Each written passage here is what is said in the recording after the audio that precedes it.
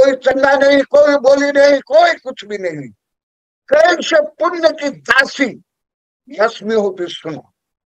जो मैं बोलता हूँ, पहले पहले आप लोग को कोई नहीं समझ करते मेरी आगे माँ सरस्वती चलती है।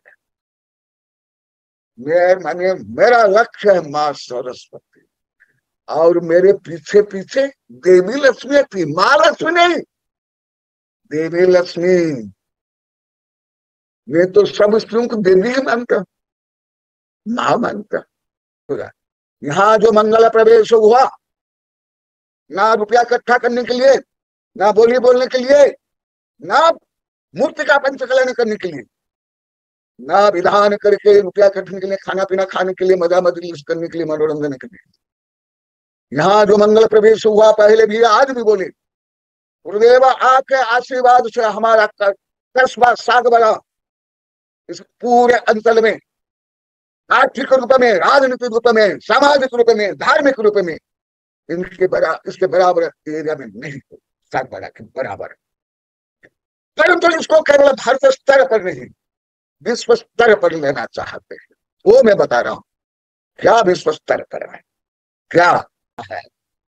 जब तीर्थंकर चक्रवर्ती तो क्या करते हैं, तब विश्व के प्रभु बनते विश्व के प्रभु बनते हैं, विश्व के गुरु बनते हैं। आप लोग मैं अनेक बार बोल गया हूँ मैं नगर छोड़ कर महानगर छोड़े, नगर में आया नगर छोड़े, कस्मा कस्मा छोड़े, गाँव गाँव छोड़ के मैं जंगल।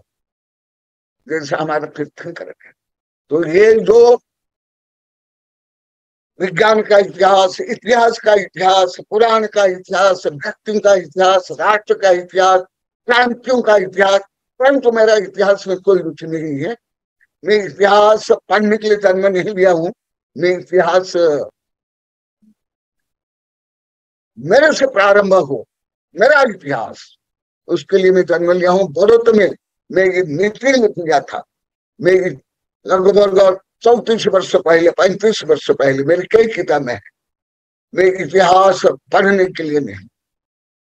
मैं स्वयं इतिहास निर्माण करने के लिए जन्म लिया हूँ।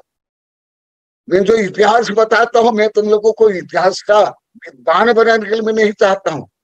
नहीं, इतिहास के परे स्व का निर्माण, स्व का विकास इतिहास जो हो गया। पास्ट टेंस है। प्रेजेंट टेंस फ्यूचर टेंस के लिए मैं बता रहा हूँ।